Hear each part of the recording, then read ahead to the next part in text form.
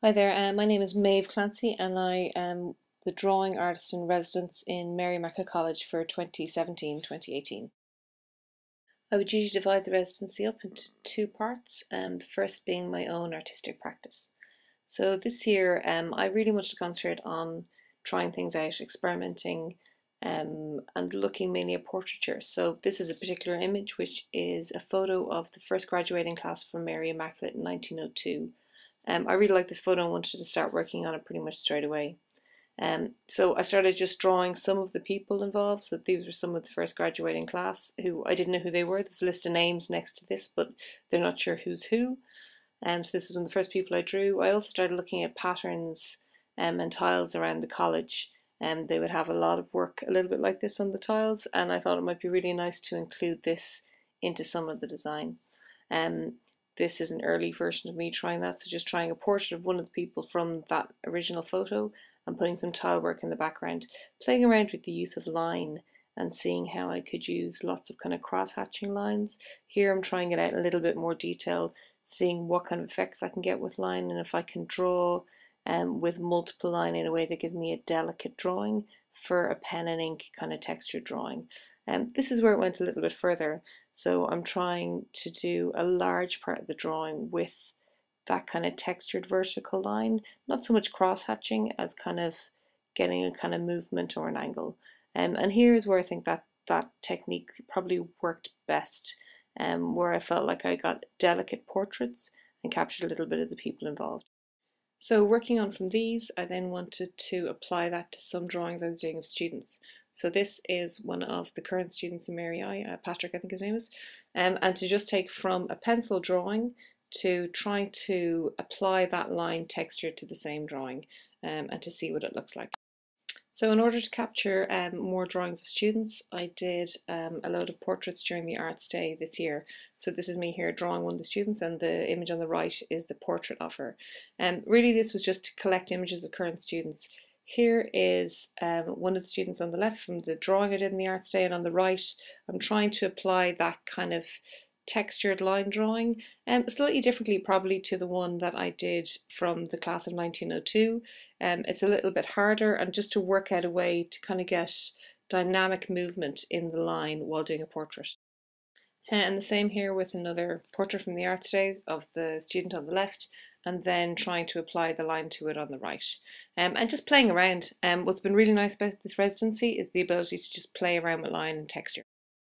One place where I found this useful is actually with Current Commission. So this is work from an exhibition that's on at the moment um, in the Riverbank Art Centre in Newbridge, which is an exhibition.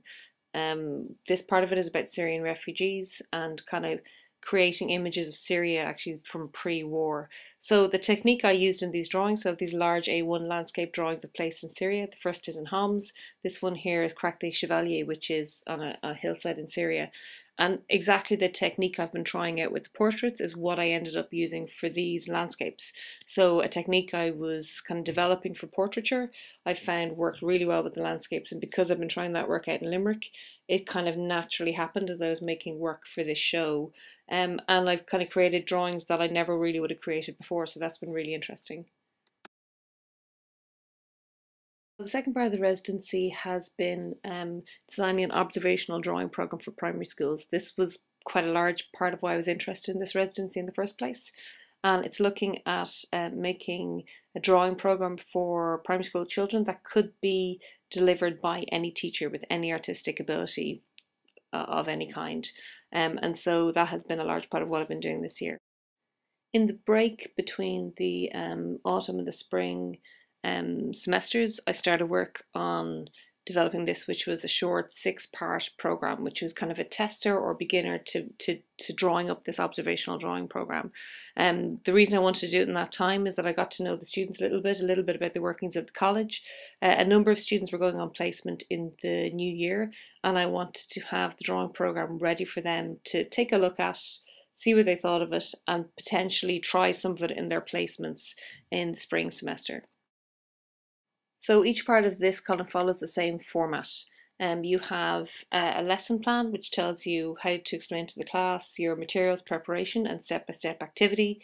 You have usually an image which could be your setup um, or it could be an image you're going to use as part of the class.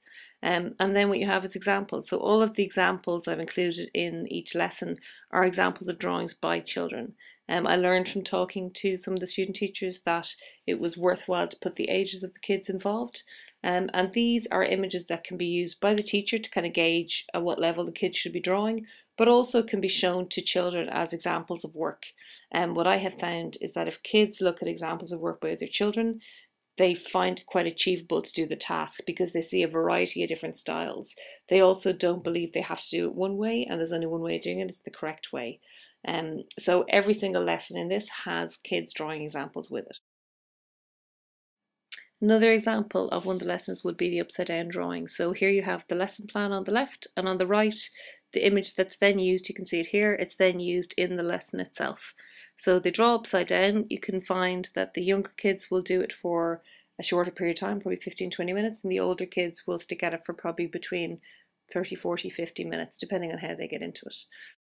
Other kind of lessons are like this, we're shape drawings and we're using grids. So you're getting into some of the techniques that I would use as an artist drawing um, and learning some of the some of the skills that anyone who's interested in drawing might want to learn. So here are more of the examples of that kind.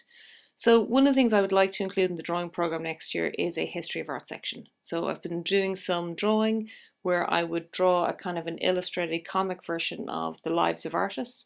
Here I've got um, obviously an image of Vincent van Gogh, draw some of his um, most famous paintings and write a short, almost like a comic strip story history of art lesson um, on each of these artists so that I would like in the final 12 part program that um, there would be a history of art section with each of those that complements the work they've just done. So um, early plans really for year two of the residency is to have a 12 part um, drawing program fully written up for September. So I'm going to work on that a little bit over the summer. I would like the students to be able to test it from the beginning of the academic year next year so that I get full advantage of their feedback. I want to add the history of art elements that I've mentioned there. Um, I would like to show some of the studio work I've been doing. I'd like to show a work in progress in September. Um, I'd also like to set up a drawing club or group within the college so that one evening a week uh, we would meet and do various drawing exercises, set up a group and create work that we could exhibit in, either around Christmas or probably in the spring semester when everyone's back in after the break. Uh, and so the final thing would be to look at some collaborative work with the other artists in residence. Um, so I'd just like to say um, I'm so sorry I couldn't be there today. Thanks very much for listening, looking through this, and I hope you have an enjoyable day. I look forward to hearing more about all the other residencies.